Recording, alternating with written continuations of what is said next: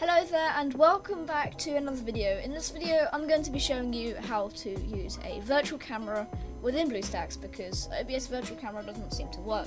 So I'll quickly show you what I mean when I go to uh, BlueStacks. That OBS virtual camera just doesn't seem to work.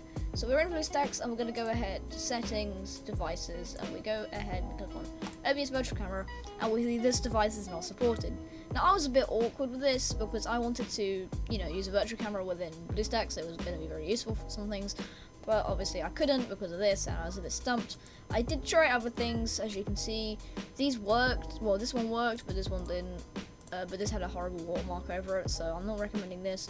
But there is actually a method we can use with no watermark. It is kind of blurry through the BlueStacks, but it does work, so it's better than nothing. So I'm going to go ahead and show you. So I'm just going to close BlueStacks down here. And what we want to go ahead and do is open up our web browser. And you're going to go to the link down in the description, which will take you here. This is actually a Logitech camera software, which is used for Logitech cameras. But in this case, we're not using it for that. We're using it for the virtual camera. So what we're going to go ahead and do is download it for whichever one you're using. I'm using Windows. Go ahead and download it. Then go ahead and launch the program once it's downloaded. Once it downloads, go ahead and agree to user account control and just follow through the steps. Once the launcher loads, go ahead and follow through the steps. Click on the ones you want to click on and give it a moment to load in. And once your Logitech Capture installation is complete, go ahead and click on Launch Logitech Capture. So you'll then be greeted with a UI, um, which is just loading in here it will ask you a couple things about your camera and stuff. Just click on next, next, next, next. Actually, no, this is the feature we're going to be uh, using. So we're going to click next. And then for this, just go ahead and click on um, sign in or create. You don't have to do that. Um, and now this is where the fun begins. If you want to change the theme to dark theme, you can go ahead and click on down here and then dark theme. Just because that looks overall nicer, in my opinion. But we're going to go ahead and head back to the top one here, which is source one. We're going to go ahead and click on this, and we're going to go ahead and click on either screen capture or window capture. So click on whichever one you need um, to use. So if you want to use window capture, you just click on the window capture you'd like to screen share. And if I Spotify, you'll see it does do just Spotify, which is very helpful. The UI is quite easy to understand, but say you want to do a whole screen capture, then you can do that also.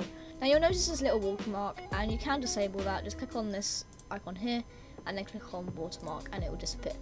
So you can also put text overlays on the screen and whatever you really want. There's quite a lot you can do with this program to be honest. Hello.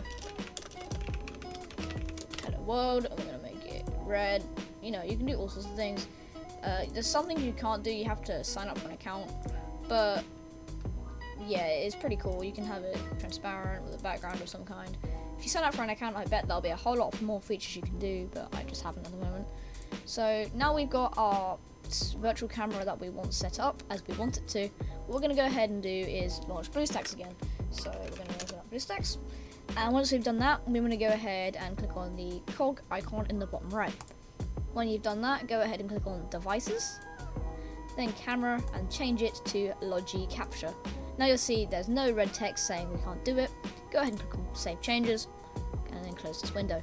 Now uh, on my beautiful BlueStacks, we're going to go ahead and click on System Apps and then Camera just to test it, and you'll see the virtual camera is working completely fine. And if I change the text, if I change the text to um, you can see it is working just fine and it, yeah it, it, it, works just like OBS virtual camera and the UI is quite nice to use and there's all sorts of things you can do with it to make it work. So I hope this was a useful mini tutorial on how to use a virtual camera. If you want to change it to like an actual camera, you can. There's a lot of stuff you can do with this and you can even record stuff as well. It's basically Logitech's own version of OBS, but yeah, there's, there's quite a few features to it and it's very helpful for this kind of thing. Hopefully this video was helpful. If you liked it, possibly like and subscribe. Otherwise, I don't really mind. And have a good day. Bye!